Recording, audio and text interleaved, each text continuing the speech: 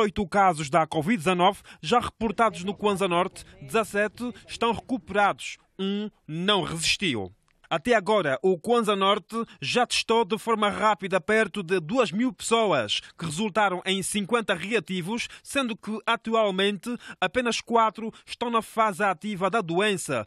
Podem transmitir o vírus e, por isso, foram internados. Dos casos confirmados, tivemos 17 e destes 17 todos já tiveram alta, eh, evoluíram eh, satisfatoriamente.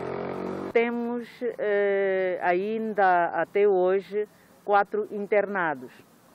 Portanto, de, desses internados são aqueles que apresentaram Uh, o IgM, que nós consideramos como infecção reativa. Agora a Comissão está de olhos nos pacientes que tiveram alta, mas são portadores de comorbilidades.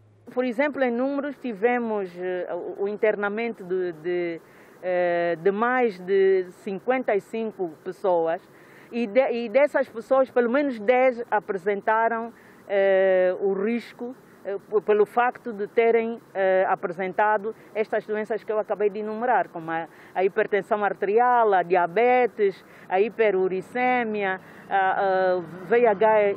No Casango, novos casos podem surgir. Pelas ruas e outros locais, algumas medidas de prevenção contra a doença continuam a ser desrespeitadas. Nós estamos preocupados. O distanciamento social é, é, é, ou entre uma pessoa e outra, o cumprimento de pelo menos, no mínimo, um metro de distância é, é uma preocupação para nós, porque deve ser das medidas que menos se cumpre aqui na província do Kwanza Norte.